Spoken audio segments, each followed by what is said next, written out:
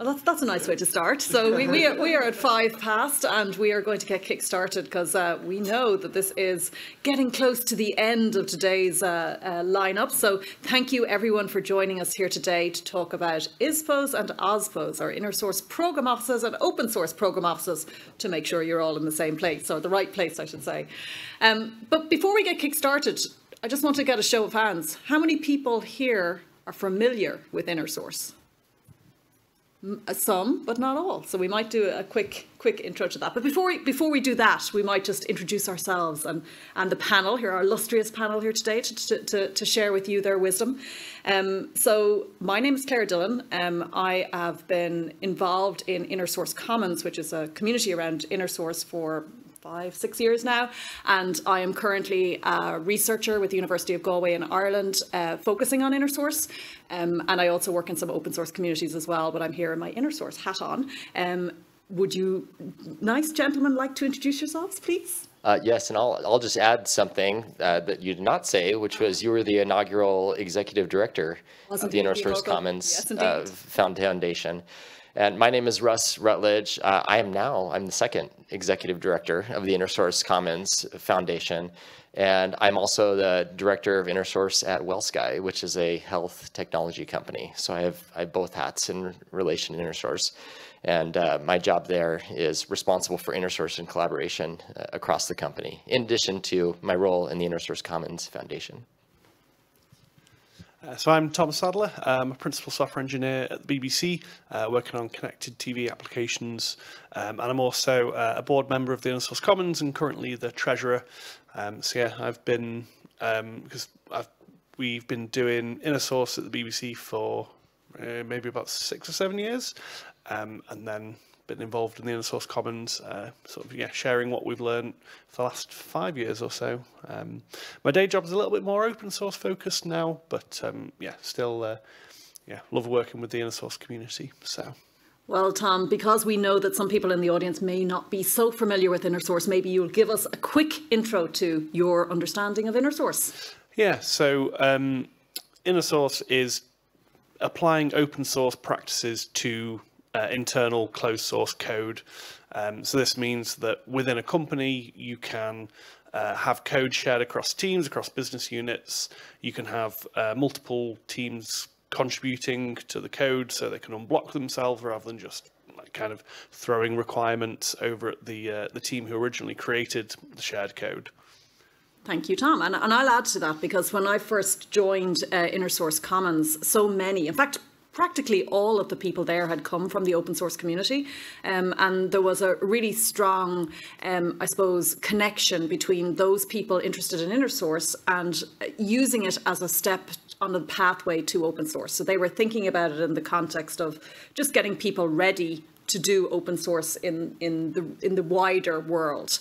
Um, but in the last maybe couple of years, we've seen far more people become interested in inner source, not necessarily as a path to get to open source, though also as a path to get to open source, um, but also just as a way to do those kinds of unblocking silos that Tom was talking about. And it's turned up recently in Gartner hype cycles. We're very excited to be on a Gartner hype cycle. So it's turned up in the last two Gartner hype cycles of software engineering um, and in other reports uh, related to just developer productivity and, and collaboration in general. So that's very exciting for us. But, but we're here today not to talk about necessarily inner source in general, but also very specifically the recent rise of inner source program offices, which is a relatively new concept. So Russ, maybe you'll take us through inner source program offices and your experience with inner source Commons around that. Sure, thanks. So I can say a few things about that. So an inner source program office, I think, took its um, uh, lead and organizing and what it's called itself from open source program office or OSPO. So uh, inner source program office is an analogous part of the company, except instead of being responsible for open source, it's responsible for inner source within the organization. And that could be anything that the organization uh, needs in order for inner source to happen. Now, uh, like an OSPO, the Inner Source Program Office are not the only ones working on Inner Source project, but rather the role of the people who are working in the InnerSource program office is to enable and make it easier for teams to do InnerSource, to, uh, to cross collaborate. Uh, that can mean different things and different companies, but there's usually a few different activities that seem pretty common across multiple companies that we see interact in the InnerSource Commons. A few common activities are things like um, culture change and promotion, um, making sure that people in the company are aware of InnerSource and are being trained to do InnerSource, that there's recognition and celebration, Uh, uh, ambassadorship and InnerSource champions throughout the company, all of those types of culture change, whatever works at the company. That's one aspect. Another aspect that we see is uh, governance. What are some consistent expectations for running an InnerSource project? This helps those who are interacting at the company with InnerSource projects to have a consistent experience and to be able to trust uh, InnerSource that have confidence to use it. So setting what are those standards and training teams on them. And then the third kind of broad area, and all of these areas have like a ton of little things that can be done done in them. But the third broad area that we see uh, that a, a, program office or an ISPO could be responsible for is lowering the barrier to entry to participate. So things like deploying tooling at the company to make it easier for projects to be discovered or communicated about, affecting the company's software development lifecycle and processes. So there's little spots for InnerSource to fit in in the way an engineer's work happens uh, during the day or during the week or month or quarter. Uh, those are places where an InnerSource program office can help. Now, just one more thing I'll, I'll say about that uh, is uh, a lot of these uh, challenges around encouraging InnerSource at a company, they're shared between companies. Uh, not every company is entirely different. So in the InnerSource Commons, for the last year and a half or so, there's a working group for those who are in an InnerSource program office. It's the ISPO working group. Now, you might actually be assigned to work on inner InnerSource at your company or just be interested on the side or as part of your job in making that happen. But the ISPO working group is for all those who want to scale and spread an InnerSource uh, throughout the company. Um, oh, I'll just say one more thing, in addition to my one more thing, uh, which is as far as the uh, placement of the InnerSource program office related to an OSPO, if you have one of your companies. Uh, some companies, they don't have an OSPO of any kind, but they have a, an ISPO, someone responsible for InnerSource. Uh, some have an OSPO and an ISPO, and their sister or cousin teams, or maybe in related parts of the organization. And then others we see where the OSPO and the ISPO is combined, and there's one team responsible for both open and inner source. There's not one right answer. It depends on the culture uh, of the company, those who are involved and passionate in these areas, and the goals of the OSPO and ISPO. Clare talked about some companies having inner source as a goal, as a path to open source, and for others, the goal may be uh, not as related to open source, and that can affect where the ISPO or person or people responsible for inner source end up in the company. All right, I'll stop there.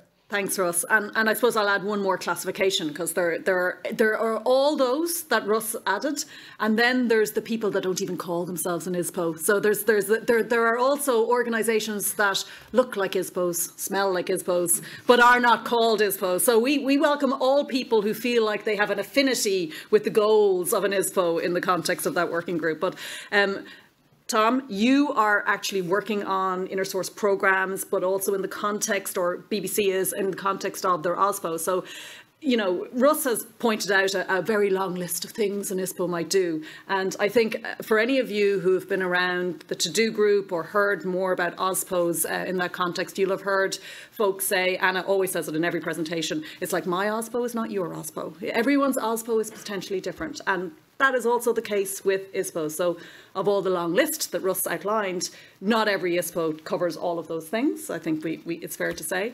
Um, so maybe you can tell us your experience about what the BBC does from, from their perspective. Yeah, so we, we kind of fall into that category where we're not calling ourselves an ISPO or an OSPO. Um, and um, we, we don't have kind of a, a fully staffed group. Um, we have um, some kind of you know, full-time staff time to support inner source and open source, um, but quite a lot of the work is done by uh, a guild. So I don't know if people are familiar with the, the guilds model, but essentially um, it was, uh, I think it was Spotify were people who were talking about it um, a few years ago. Uh, and the idea is that you give your staff 10% uh, time to work on um, a a business goal, so it's it's not just 10% time for personal development, um, it's 10% time towards a business goal that isn't getting fulfilled in your day job.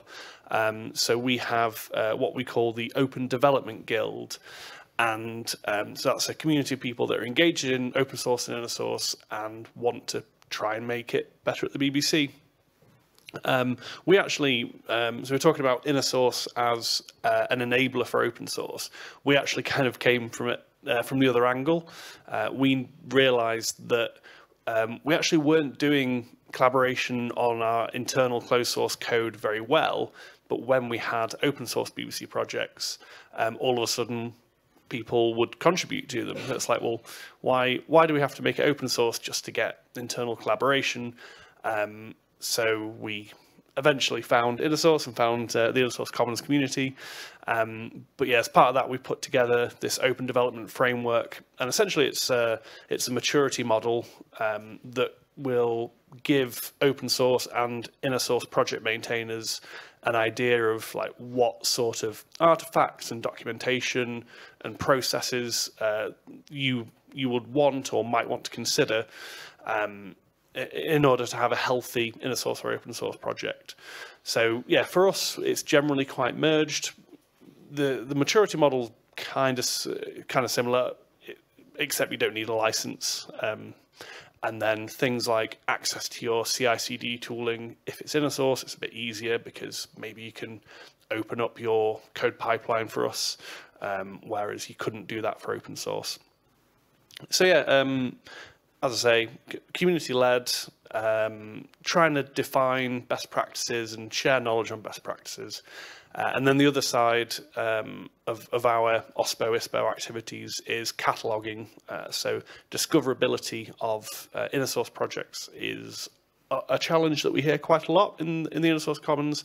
Many companies will put together these amazing inner source projects, but nobody knows about them, nobody's consuming them or contributing. So having some visibility, some advocacy um, alongside the best practices and guidance for maintainers um, is something that we um, that we work on because we feel it's uh, something that will increase the, the value. I, I just want to double down on that because I think you know certainly from from my perspective when you're when you're looking at business value that that organizations like open source program offices or now in, inner source program offices provide there's sometimes a notion around collaborative development that once you make it visible and shareable and you have your license correct either in open source or inner source whether you know whatever context you're working in that it just collaboration will magically happen.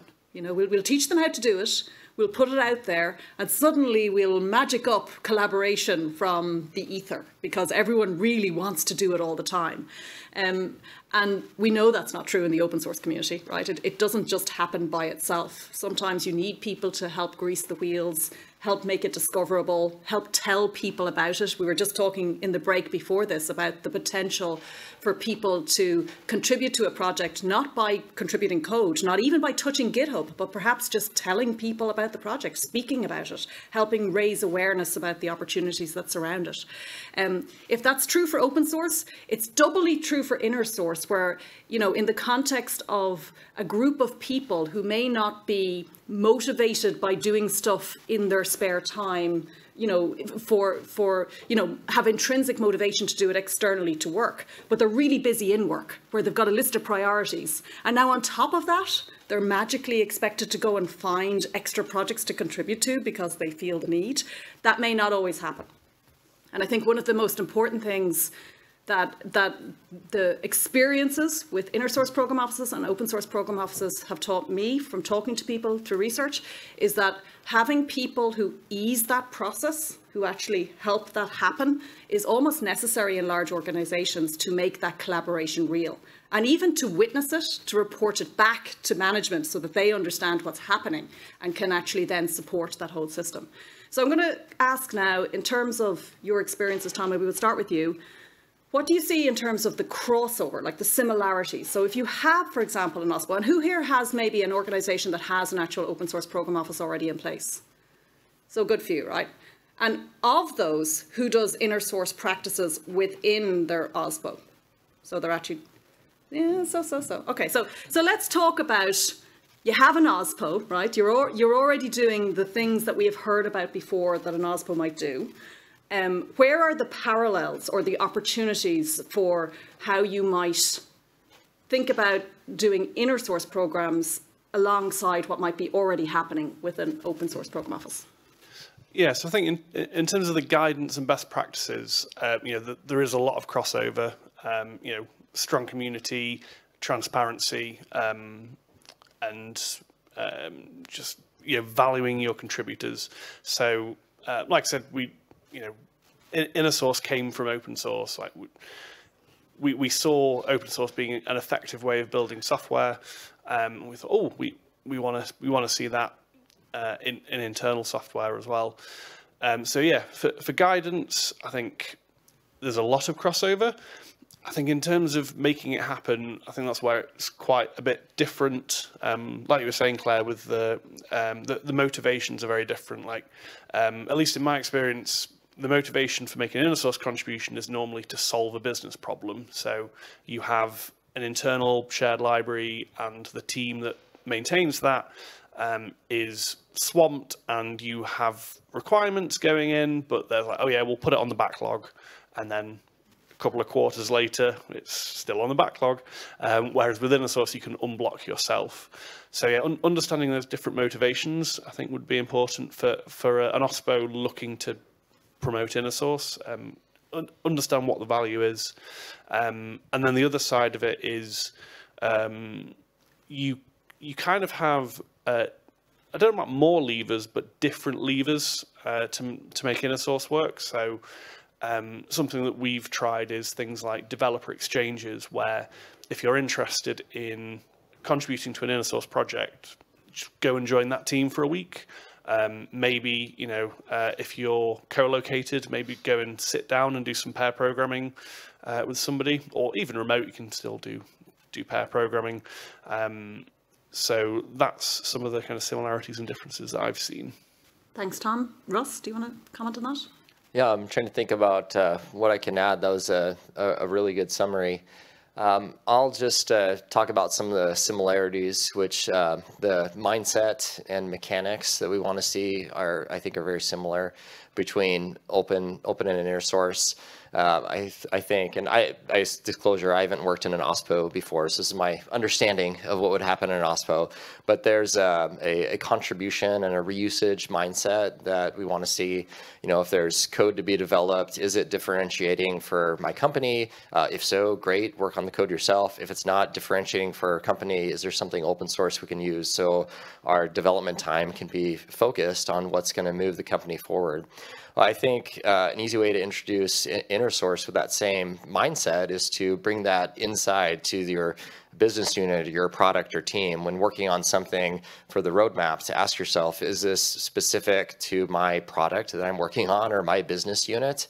Uh, if not, uh, well, I mean, it's kind of two levels of questions. I guess we start, is it differentiating for the company? The answer might be yes, but then, you know, there's a second question that needs to be asked, but kind of at the same point in the, the planning uh, your thought life cycle? Is it for differentiating for my team or my business unit? If the answer is no, that's an opportunity for an inner source project. And again, for the same reason. So the resources of that business unit or that team can go into the reason that that business unit or team existed and avoid uh, these, these silos uh, forming.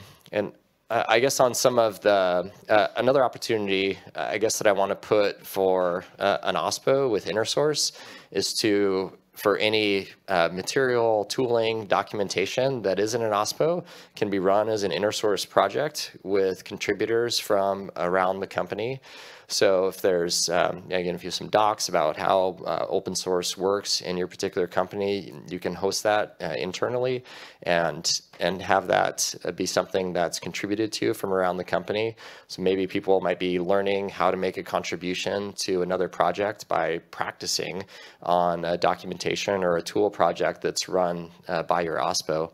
So you can get help uh, running the OSPO and then train more more people with the mechanics of open source.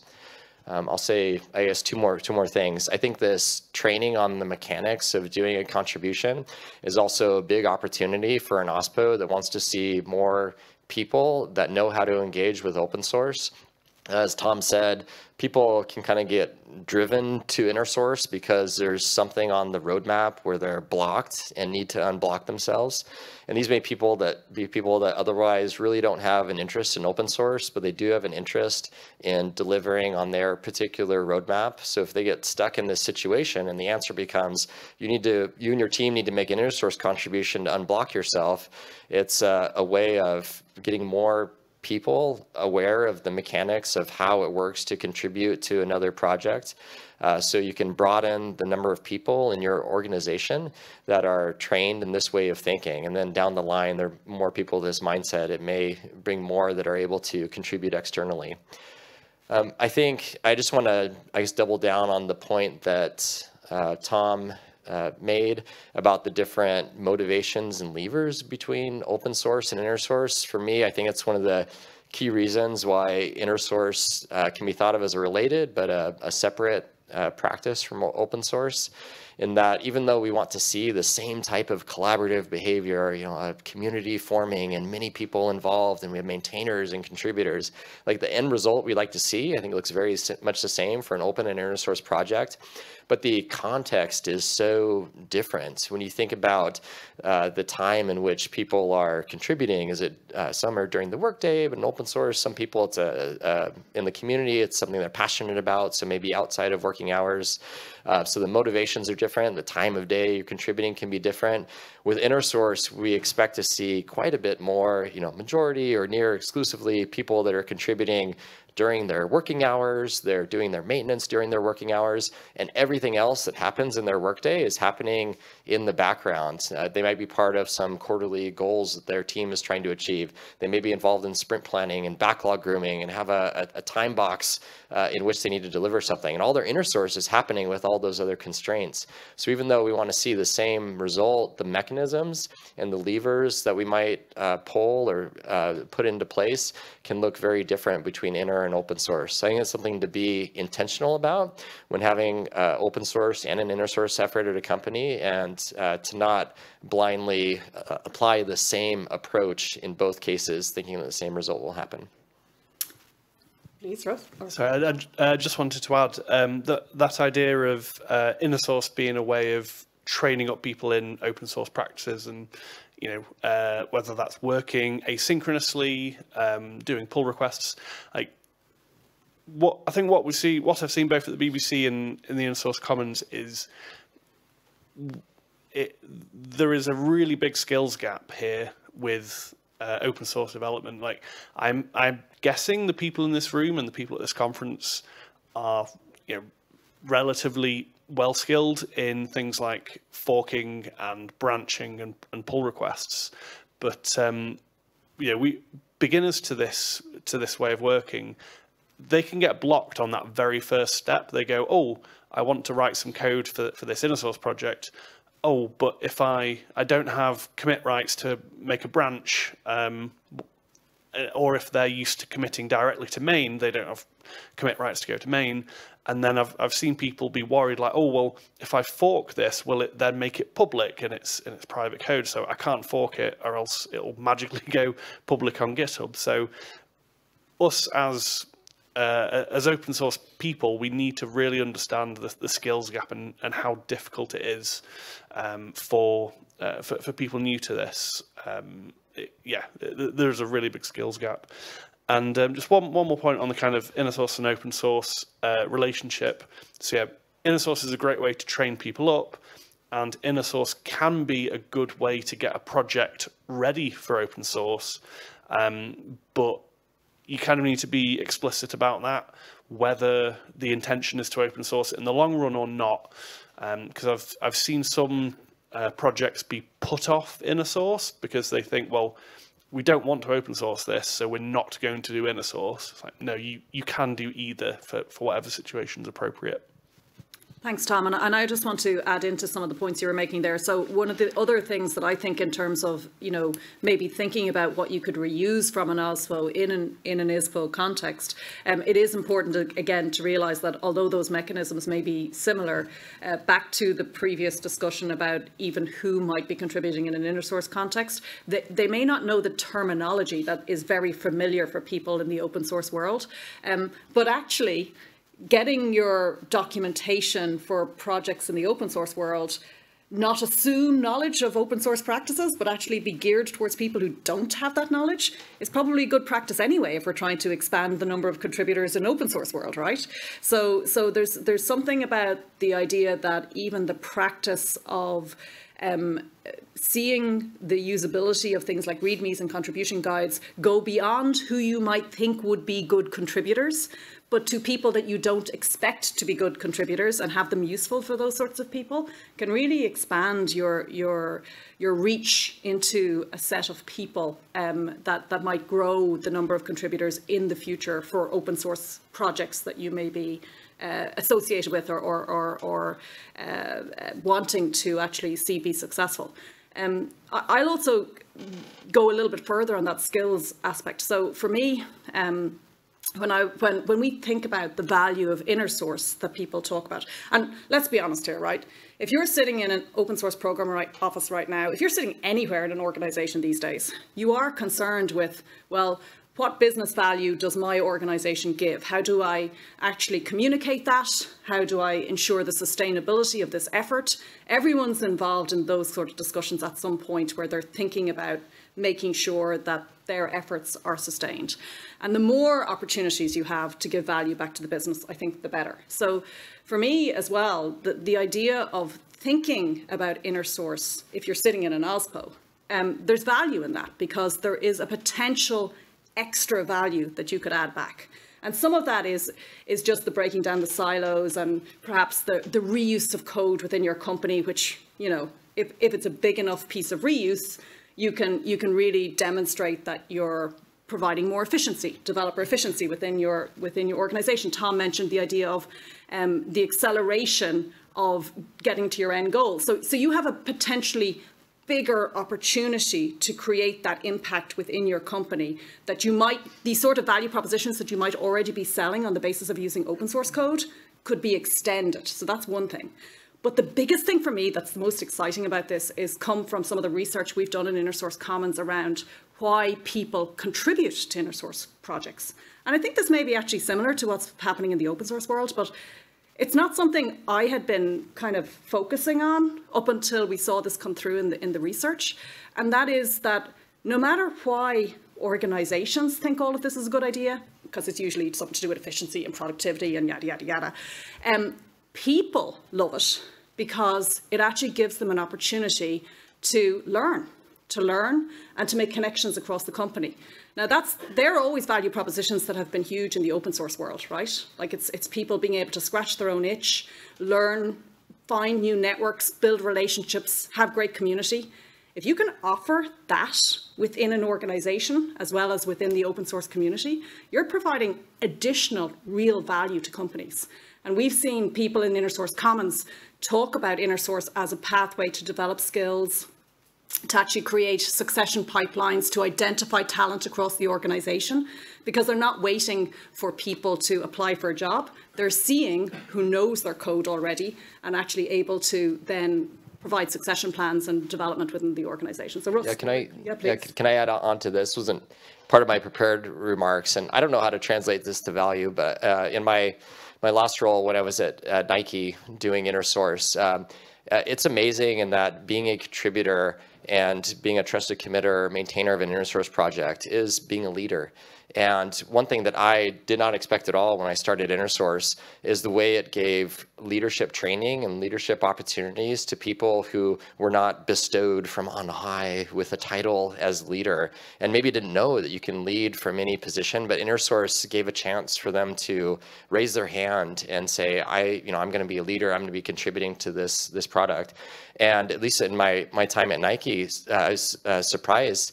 Uh, there, there are many women women who were not getting leadership opportunities um, uh, uh, on their teams for whatever reason, who came out and had had leadership opportunities through InnerSource and were able to use that to then advocate for themselves, either inside or outside the company, for bestowed and you know recognized with a title leadership positions.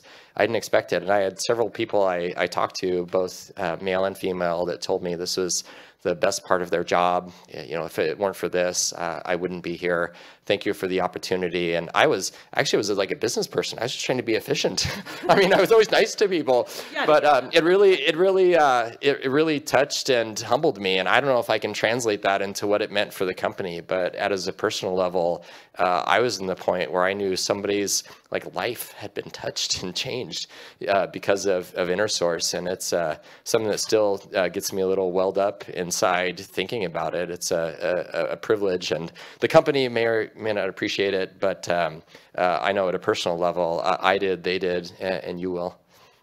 Thanks, Russ. Um, so we might just open it up now to see if anyone has any questions, please. Um, we, will wait to get the mic so we can get it on the recording. Do a little run.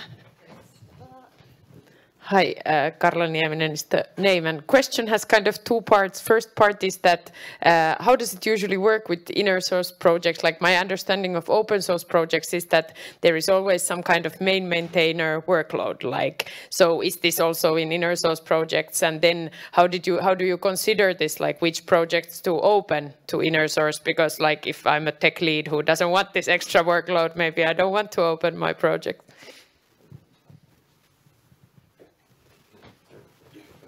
Need two mics. yeah, uh, yeah, thanks for, for asking about that. This is part of what an ISPO can provide, which is governance or expectations uh, for an inner source project. I'm glad that you recognize the workload. And one thing I want to include in my remarks, which I'll, I'll say now because it's kind of related to your question, is uh, a common anti-pattern uh, that we have is that inner source projects need no governance. Um, maybe you've seen this in open source. We open source it and uh, collaboration will just happen. Uh, we see that in, in inner source sometimes too. In fact, I've heard teams say before, and please never say this, and, and, and if anyone says it, you can correct them. Uh, I've, I've heard teams say, well, we, we don't really have time to maintain this. I guess we'll just inner source it. And then the community can take care of it. You know you just throw it out there and someone will catch it. You know that doesn't happen. It takes it takes real amounts of, of time involved. And this was your question like uh, what should be uh, what should be inner-sourced? Uh, is there is there time involved? And the answer is is anything. It depends. It can have a few uh, patterns. This is part of where an ISPO can help. If there's a recognized set of inner-source projects, um, uh, one thing an ISPO can do is to help to advocate for those uh, at WellSky, uh, where I um, where I'm the director of InnerSource, we track usage of InnerSource projects, and we had one that was in this state where there weren't a set of maintainers. Yeah, we, we had uh, 73 uses across the company of active projects that were still being deployed, and we were able to uh, use that to advocate with management for maintainer time. So that's a role that we filled as an ISPO, and now that project has like a great set of community maintainers. Uh, as far as uh, what to put into inner source, uh, an ISPO might provide guidelines. My opinion is that you know we kind of leave that to the you know community, like at the company. What do we think? What do they think will be useful? Uh, we trust that they'll probably know know better. Um, uh, so. Uh, I guess the last thing I'll say is if people don't want to, I've never been in a position of forcing people uh, to to inner source. But I think it's really interesting if there's a desire from some people to collaborate on something as inner source. There's demand for that, and if there's a desire not to, maybe the cost of it isn't meeting that demand, and that's an opportunity for uh, someone in an ISPO position to examine why there's that difference and think again to what Tom said. There's so many levers you can pull. There's uh, if you have an ISPO that has good relationships with engineering leaders, we can talk about expectations for teams, expectations for career levels, uh, ways that team success is reported. Maybe InnerSource needs to be a measure of success. And with those levers, you can look at what you can do to resolve that situation. So it's not an answer, but those are some thoughts about it. Yeah, and I think uh, this is a great time to plug the InnerSource patterns, uh, which is one of the, the outputs of the InnerSource Commons, um, because a lot of these challenges come up in loads of different companies. Um, so uh, one pattern that we have is the core team pattern, and this is where it's been recognised that the that yeah, kind of maintaining an InnerSource project is so costly that you actually need to um, get some resource around that, get a team to, to look after that. Um, something else, uh, I think uh, it's an open pull request uh, on the patterns repo. We've been talking a bit about uh, including um, including capacity for uh, supporting InnerSource in your agile planning. Um, so, you know, don't don't expect to be able to like completely fill your sprint with project work. You need to leave some capacity free to support contributions. Um, and in terms of um, uh, another ISPO activity could be uh, keeping an eye on and identifying abandoned projects. I think the same can be true for open source. Like if you've got an abandoned inner source or open source project with your company's name on it, like you either want to find a new owner for it um, and make sure it's maintained properly, or potentially even deprecate it, um, which is a hard thing to do, but maybe that's better than having unsupported, unmaintained code.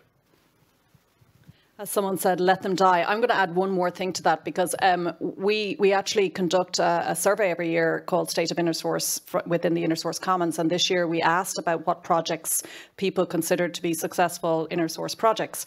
Um, and actually, the the feedback we got back were the, the top ones were actually projects that were designed to be shared. So so the folks that are actually building something like a platform project or common library they want other people to use it, and therefore they want those other people to feel like they've got a stake in that development and, and a pathway for them to have some degree of autonomy and not be blocked in case. So if you're going to ask another team to have a dependency on you because you're building a common thing, then you need to give them a pathway to be involved in that process, and InnerSource gives you that. The third most common thing, because it was kind of like, plat, you know, common libraries and platform projects, Third one hit me like I was like, whoa, I didn't realize that was going to be a thing. Um, and that was documentation as code. So it turned out, and particularly actually in the Japanese community, it turned out that an awful lot of people who were experimenting with inner source, they started with documentation as code as a way to have a have people kind of contribute, learn open source practices, but in a way that perhaps wasn't as um, challenging or, or, they didn't have a steeper learning curve by, by not having to understand the code base and go through that whole kind of code awareness, but they could actually just, you know, contribute to the documentation in a way that um, that would help the entire project. That not only, I suppose, was was a seen to be a successful inner source project, but it actually again hit a wider number of people who are who are potential contributors in that respect. Um, so they were considered to be particularly successful inner source projects. Sorry, there were other questions here. I, will just go back to here and then we'll come down here. Thanks. Um, um, how do you organize inner source in a company that's uh, distributed across jurisdictions, let's say, because it impacts and is impacted by taxation, data protection regulation, cross-border data transfer, export control, that sort of stuff? Yeah, so, so uh, again, I'll, I'll, plug the patterns again um, because we, we've seen people have this problem.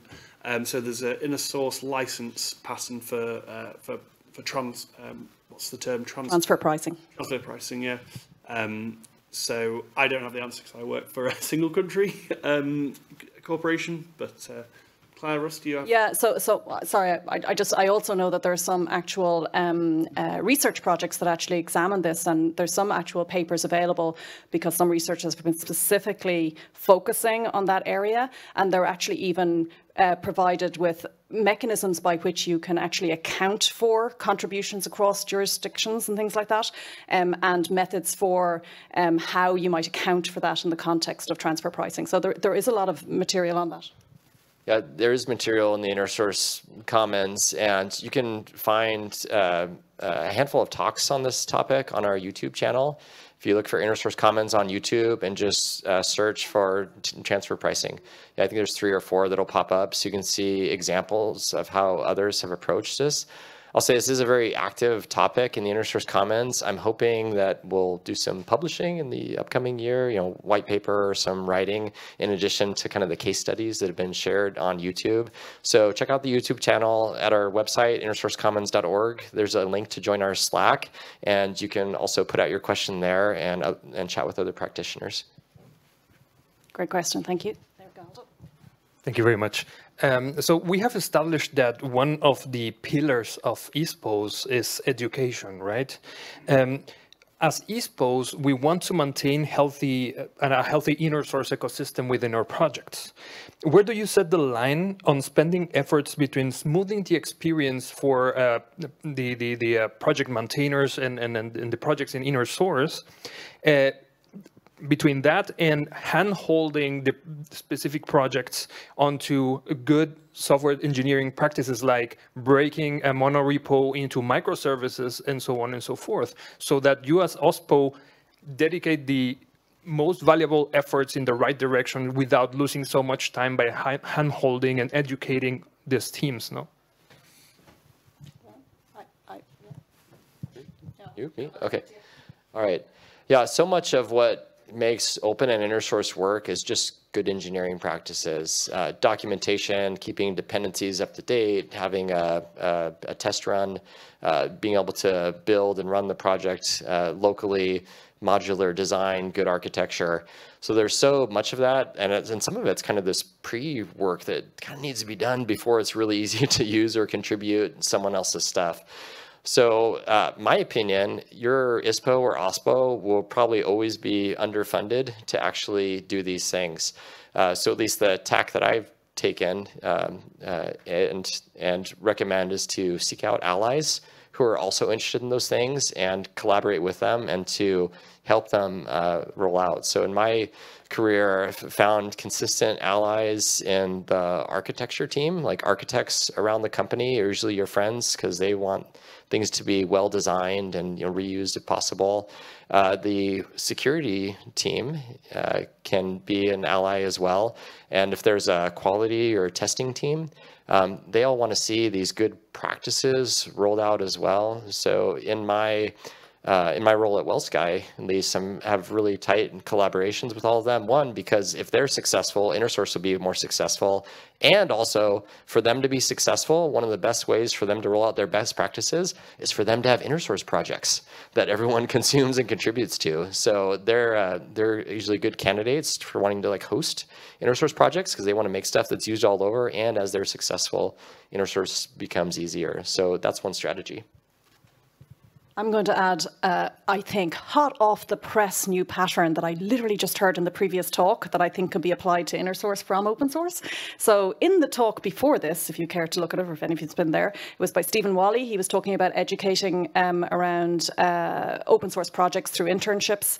And he spoke about um, this concept, which I think is so powerful, called near peer mentorship. Has, has anyone heard this? As opposed to mentorship mentorship, which assumes that the senior maintainers has to deal with every very potentially stupid incoming PR that, you know, from someone who maybe doesn't know a lot and has to kind of, you know, that, that can be very frustrating for people, right? That if you, if you, I've opened up my project and now the first five PRs are things that they really should have known better, you know, and, and now suddenly they've had a really bad experience with, you know, dealing with all of those. And it's like, I'm done, I'm done, I can't be dealing with any more of this.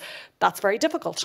Um, but this principle is the idea that actually that kind of real expert novice type mentorship is not as powerful as near peer mentorship. So you get someone successfully through the process and you get them to mentor the next person. And so they may not even be in the team at all. Um, but the idea of this idea of identifying people who've just gone through the process to help the people who are next along the process can be really powerful for both the people who are submitting the contribution and for the team itself because it, it actually helps grow everyone along the, the pathway. So near peer mentorship, a new one for me and is going to be a pattern, I think, soon. And there was, sorry. No, you, yeah, go for it. Did you want to? Uh, hi, uh, sorry I joined the session late, so if it, if uh, you know someone has already asked this question, I'm really sorry for that.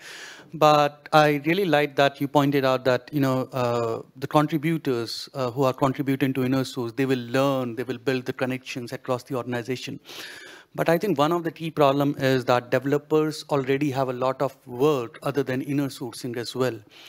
And uh, they are, and if you look at the business leaders, they are actually paying those developers to deliver that kind of work. And with inner source, typically the ROI is measured with time, right? I mean, you cannot have an immediate impact of inner source. Uh, it, it takes time to measure the developer productivity and efficiency and all of those things. So during that time, how to keep, you know, how many developers, have you seen any developers who are actually contributing to inner source just for the learning purpose and just for the building connection purpose rather than, you know, even if they are not getting direct salary for it or earnings for it? Yeah, I'd say um, one thing I, I have seen work in terms of that using inner source purely for learning and not for uh, you know completing a ticket on your board is um, uh, using 10% time. Um, and I, I suppose maybe, this is slightly cheeky, right? Because maybe someone in their 10% time would do a, a personal project or do a training course but by getting them to use their 10% time to do an inner source contribution, not only are they learning, but that is also adding some business value. So yeah, maybe it's slightly cheeky to use 10% time in that way, but I, I have seen that work. I'm just going to add, because you, you were talking about like measuring inner source and the value and all that, like it actually happens like that. But actually, the whole ability to measure return on investment and value is very immature in organizations. Actually, the folks that are doing transfer pricing mitigations are probably further along because they have to kind of quantify the amount of IP that's traveling between jurisdictions, etc. So they have mechanisms to do that. Um, but but the I I'd say the maturity of measuring like exactly how much time did we save by this this. We, ha we had a discussion about this in the inner source gathering there on Monday. It, it's, it's not well developed. So if you're waiting for that to be your business value, as in I, I'm going to have a magic number I wave at management, it's not going to happen anytime soon. So I, I would also say that, that in the context of, of describing this value, um, you know, part of it is actually just telling the stories and actually just because you know you, you were kind of like i'm waiting for this magic number but like you know people are learning turns out that actually when management hear about the stories that people tell about their experiences with inner source it's very compelling. Like they, they talk about you know skills transfer. They talk about being unblocked that they they they might have to wait otherwise. How you know in in their project planning they have a thing to say well you know we, we tried to get that other team to, to, to do something but they wouldn't. We had to wait like six months and sit in our hands for a while and you know it's not our fault. Like and then you hear about inner source unblocking something like that that can be far more powerful than potentially a magical dollar number at the end of the year or something like that. So yeah, it's I just mean, a comment on measurement. I mean, if, if you think about open source 25 years ago, I mean, that was kind of, uh, it, it, was a leap of faith in some ways. It was people intuitively believed it was the best way to build software. And it's only really now that um, we have the, the evidence to say, yes, that was the right decision. And, you know, open source one, open source winning was the, the best result for the industry. So um, I guess obviously we believe that the same will happen with source eventually. Um, but yeah, it's still new enough that it is a bit of a leap of faith, but intuitively it just makes sense that if it works in the open, it should work in in the closed. So, so those case studies are internally are sometimes more powerful than some sort of effective system of measuring things. And those case studies can be at that project level or at an individual level describing how powerful it is. Because I mean, like, so you heard, you just heard Russ talking about welling up, right? managers do that too would you believe like they actually are really moved by stories about collaboration and how, how, like I, I heard one from a case study from microsoft where they were it was it was community of practice around, um, uh, they, they, weren't even developers, they were the um, Microsoft uh, uh, folks, consultants in the field. And they were doing an inner source project where they were just sharing best practices about their consultancy practice, where they were, they were, they were editing the documentation that goes out to all the other consultants worldwide while they were on the customer site. New question from customer A goes into the repo, gets pulled into a PR, someone answers it, it goes back out within a day. None of this like kind of going up the field, getting some question, having an editorial board, blah, blah, blah, blah, publishing it out, blah, blah, blah. It was all done with the inner source project within a day. And they, the way, the, the thing that, I mean, that's impressive enough, right? But then the way they talked about it, in terms of all these people from the, the far reaches of Microsoft who felt that they were in peripheral offices, were all talking about their connection to the mothership and how, how well, they didn't say that, I, I said that, but, uh, but they, they were talking about how the, um, their, their ability to feel connected and impactful, even though they were in the field and they weren't at the center of the Microsoft operations, was huge. And actually, I welled up hearing them talk about it. So, okay, it's, it, emotions like that, telling those stories can be very powerful. Um, Do we have time for more questions, or are we at time? I think we may be at time. Um, I mean, I think we're over time, but there's nothing after this, and I can do five. I can do five more minutes. But. No?